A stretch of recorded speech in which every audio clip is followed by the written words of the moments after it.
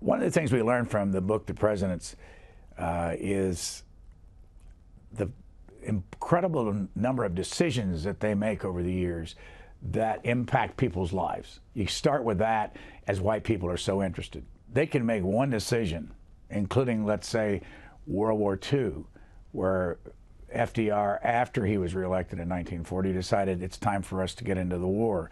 And they have so much visibility and power that they do influence a lot of things like that.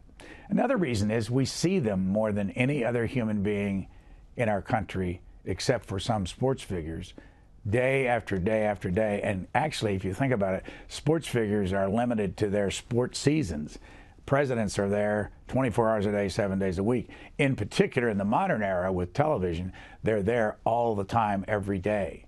So it's just familiarity. And sometimes that's why people will throw a president out because familiarity can breed contempt, which it does. Sometimes familiarity breeds more popularity. But these are people that everybody knows something about, especially at the present time. A lot of people don't know very much about the past, and that's the beauty of this book. You can go back and see how much has changed, but more importantly, how much has not changed.